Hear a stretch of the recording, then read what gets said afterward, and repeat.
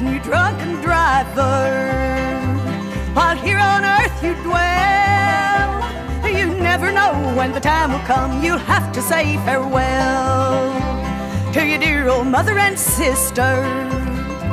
Though they be miles away, so don't be drinking whiskey while driving on your way. I saw an accident one day that would charm the heart of man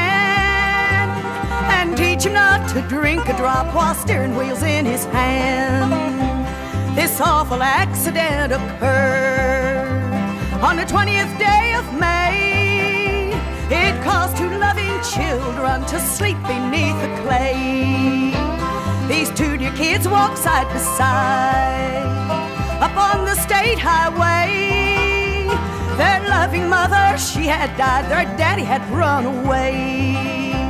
They were talking of their loving parents, how sad their hearts did feel. When around the curve came a speeding car with a drunk man at the wheel. The driver saw these two dear kids. He hooted a drunkard sound. Get out of the road, you little fools. Then the car, it brought them down. The bumper struck that little girl taking her life away. Blood in the ditch line there did lay. The driver staggered from his car to see what he had done. His heart sank within him when he saw his loving son. Such mourning from a drunken man I never saw before. When the little boy in a gore of blood said, Daddy has come once more.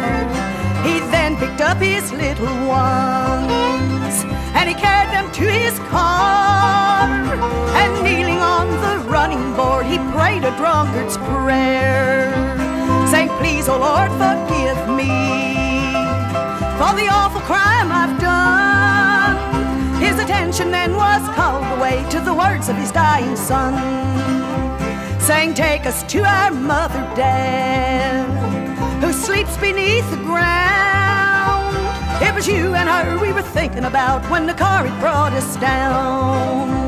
And please, her daddy, don't drink no more while driving on your way. But meet us with our mother, Dad, in heaven some sweet day.